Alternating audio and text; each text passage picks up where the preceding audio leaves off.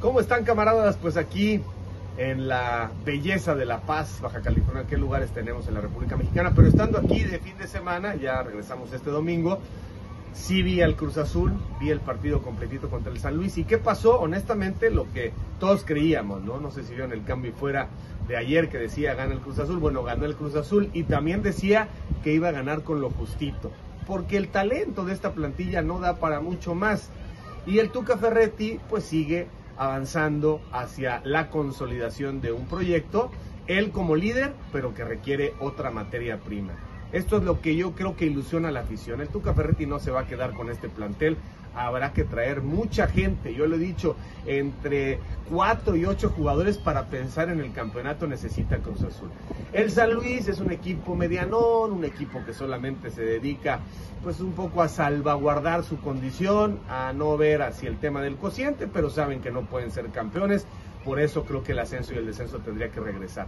Y con sus limitaciones, atora el partido y es un Cruz Azul, pues sí, que insiste, que corre, que pelea, que lucha, pero no tiene tantas luces.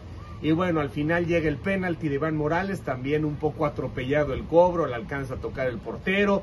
Este es el Cruz Azul de hoy, ¿no? Un Cruz Azul que es impetuoso, que tiene la necesidad de adiestrarse tácticamente a lo que pretende el entrenador, pero pues que no tiene demasiada magia ¿no? en sus jugadores. Entonces, pues ahí va cada uno un poco a su propia lucha, intentar por velocidad eh, sacar el centro, un recorte, dejar en una mejor perspectiva de gol a los delanteros, pero a los delanteros les falta talento, honestamente.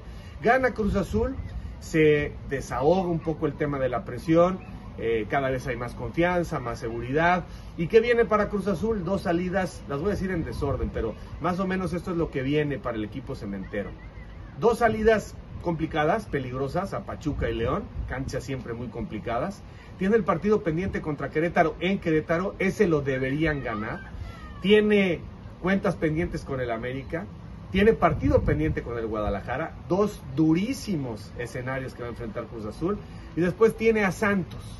Esto es lo que le viene al equipo cementero en la liga. ¿Cuántos puntos calculan ustedes que hay ahí más o menos? Quizá la mitad, poquito más de la mitad. Con eso le alcanzaría a Cruz Azul, creo yo, para estar entre los ocho primeros del campeonato. Y eso, pues, le va a significar reconocimiento al Tuca Ferretti porque logró estabilizar a un equipo que parecía que iba en caída libre. Nunca sabremos qué pasó o qué hubiera pasado con el Potro Gutiérrez. Yo no los veía tan mal, ahora no los veo tan bien, pero bueno, hay que darle el crédito al Tuca Ferretti, que es un experto en liguillas. ¿Que puede de pronto Cruz Azul dar una sorpresa? Pues sí, dos ya no lo veo tan posible. Veo el potencial del Monterrey y veo a Cruz Azul varios niveles abajo. Veo cómo crece el Toluca, digo lo mismo.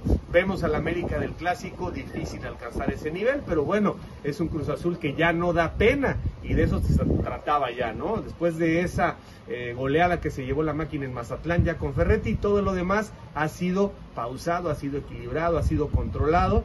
Eh, me parece que en el recuento de los daños el Tuca Ferretti se va a llevar eh, pues una validación positiva por parte de la afición hasta ahora. Nada que celebrar así diciendo wow, qué partidazo, pero es lo que hay porque la planeación de la directiva, y no quito el dedo del reglón, fue muy mala con Jaime Ordiales, ya vimos al cabecita Rodríguez que quería regresar a Cruz Azul, cómo empieza poco a poco a retomar esos grandes niveles futbolísticos individuales y colectivos, individuales y para el equipo que le dieron a la máquina su novena estrella. Les mando un abrazo, cambio y fuera y escucho y leo sus opiniones.